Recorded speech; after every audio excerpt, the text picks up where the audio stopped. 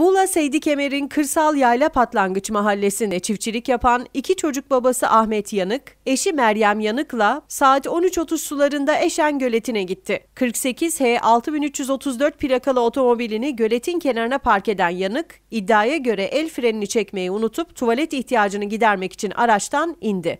Bu sırada geri kayan kamyonet gölete uçtu. Emniyet kemerinin takılı olduğu belirtilen Meryem Yanık, kamyonetle birlikte suya gömüldü. Eşini kurtarmak için suya atlayan Ahmet Yanık'ın çabaları yetersiz kaldı. Yorulan Yanık, kamyonetin kasasındaki stepne ile yüzerek göletteki bir adacığa çıktı. Çevredekilerin durumu bildirmesi üzerine gelen itfaiye ekipleri Ahmet Yanık'ı bulunduğu adacıktan kurtardı. Kamyonetteki Meryem Yanık'ın suda boğularak yaşamını yitirdiği belirlendi. Kamyonet vinç yardımıyla sudan çıkartılırken Yanık'ın cesedi olay yerinde jandarma ve savcının yaptığı incelemenin ardından Seydi Kemer Devlet Hastanesi morguna gönderildi. Jandarma olayla ilgili soruşturma başlattı.